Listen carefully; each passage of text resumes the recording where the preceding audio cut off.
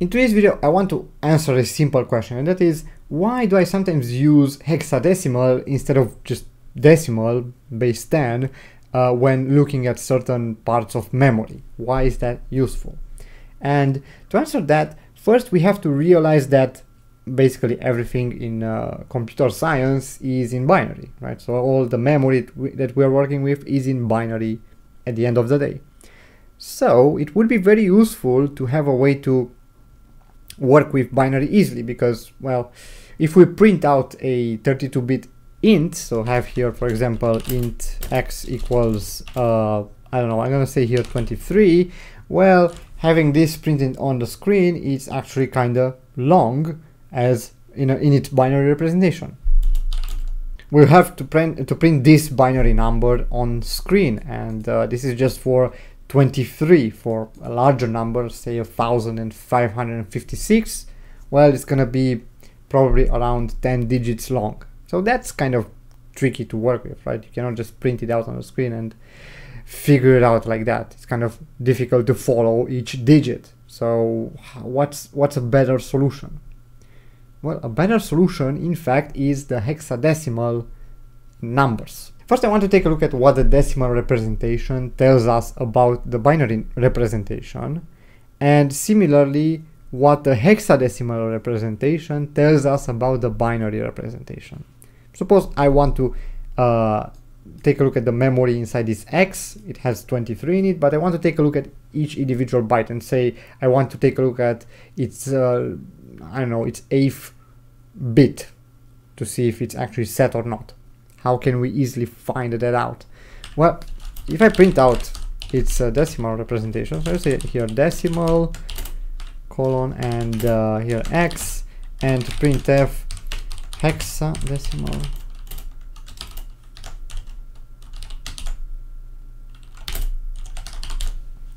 just like that and if we try to launch this we're going to get actually two numbers of course the first one is the decimal 23 that we wrote and the next one is the hexadecimal representation, so base 16 representation of our 23, right, which is 1, 7.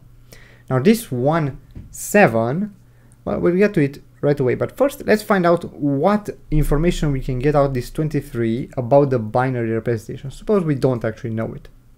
Well, we can get something out of it, not much. We can say that, okay, 23 is an odd number. And because it's odd, that determines the last bit. The last bit must be 1 if it is odd, otherwise, well, it uh, wouldn't be divisible, or it would be divisible by 2. So it's uh, this decimal representation tells us about the number that uh, we have something on the left and it must end with a 1, with the bit 1 here. And indeed it does in the representation itself. Now what does this 1 7 in hexadecimal actually tell us about the binary representation? In actuality it tells us everything about that binary representation. And that is because of a certain property of bases that are powers of 2. So binary is a power of is a is a base that is a power of 2, it's 2 to the power of 1 of course, and hexadecimal is 2 to the power of 4, right? 16 is to the power of 4 and it is a base that is a power of 2.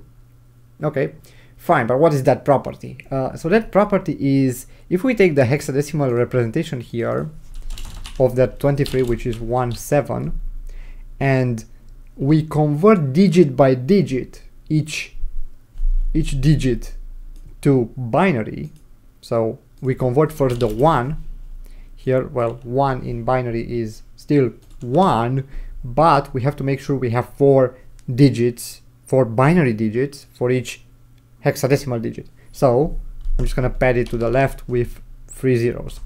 Okay, and then we convert 7 to binary, which is, well, it's just 111, but again, we need 4 digits, so we're gonna add here a 0. And if we cobble all that together, right, we're gonna get the actual binary representation of our 23. As you can see, it's the same exact number by using this very simple method of converting this 7 and one, this 1 7 into binary digit by digit. So because of that, at first glance, to me at least, if you exercise it enough, uh, this sort of conversions, it's going to be very easy to notice that, ah, okay, so this guy is 0001 and then there's three ones at the end because of that seven. So it's, it's uh, 10111 at the end and it's all padded with zeros of course. This is why hexadecimal is very useful in computer science because of this conversion, this very quick conversion from hexadecimal to binary and and you can even do it the other way around. So let's pick a, a different number. So let's delete all this and let's say we want, I don't know, I want uh, this number. I don't know what it is.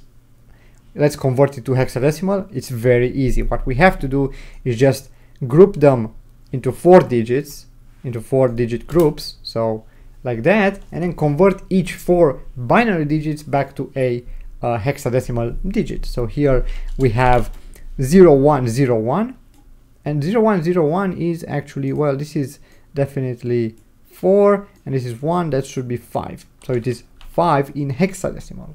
Okay. And 1110 well that's definitely more than 10 right? Because this is 8 then that's 4 and that's 2 so 8 plus 4 plus 2 that is 14 so 14 in uh, base 16 is actually the digit e. So the number that we have written in here in binary is actually 5e. Okay, but in a concrete sense, how is this useful? Like, okay, we just decided that we wanted to see the binary representation of 23, but what something more useful, something, something more tangible. How about we have a an integer that we don't know if it's positive or negative. We have no idea. And We want to just take a look at its uh, its sign bit. We want to know whether its sign bit is switched on or off. We can actually do that. So suppose this number is actually uh, a negative number. So I say minus 13. If we let me actually remove all these comments because that's not correct anymore. Um, if we run this, you're gonna notice that okay in decimal just says negative 13 but in hexadecimal we can actually confirm that the first bit which is the sign bit for the integer is actually 1 because f in hexadecimal or in binary from hexadecimal is just four ones. And since well we know that conversion uh, translates really well to binary we know that the first digit inside this number first binary digit is going to be 1 which means that the sign bit is set.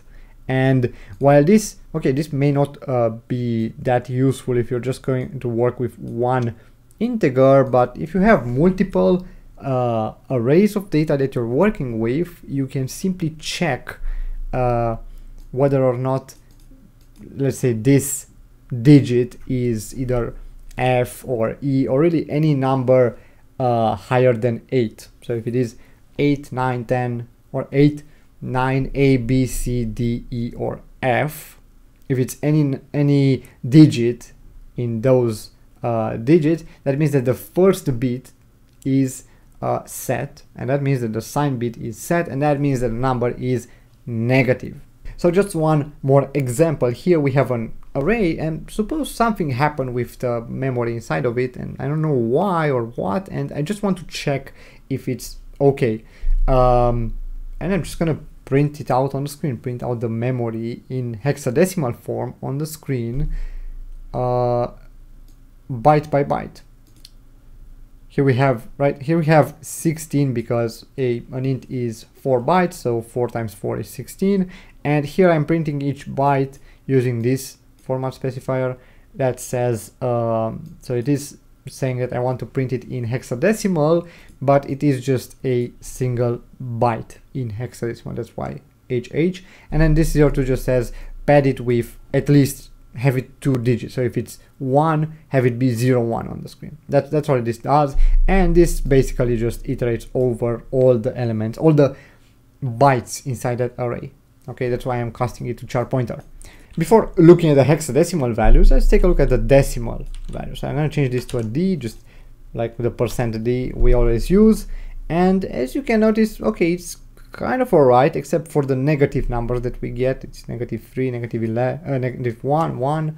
and 22 it's almost useful uh, but for example this 22 doesn't tell us much aside from I guess this is this actually fits inside one byte but if this 22 let's say was uh, bigger let's say 22,000 then if I launch this well I'm gonna get minus 16 and 85 which make no sense right and uh, in hexadecimal all this is very nicely printed on screen because well first things first we can notice the 0 1 and mind you we are on little endian so uh, these four bytes are for the first int, these four bytes are for the for the second int, and so on and so forth. And the least significant byte is the first one.